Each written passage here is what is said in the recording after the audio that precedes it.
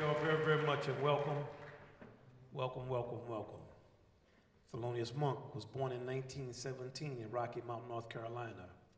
He lived right four or five blocks from here, composed almost 70 songs, all pure genius. We're happy to be joined by another master who will share his interpretations and insights with us tonight, Mr. Chick Corea.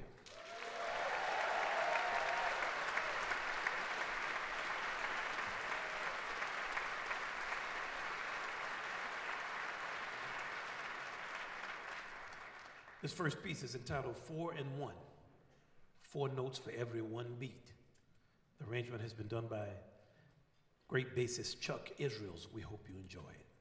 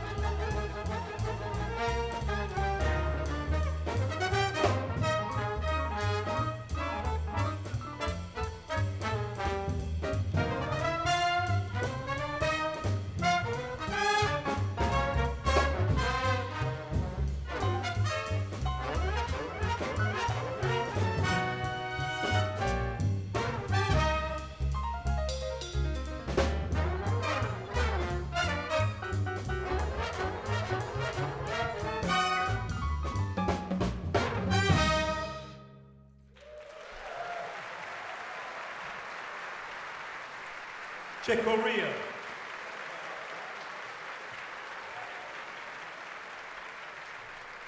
Chuck Israels' arrangement.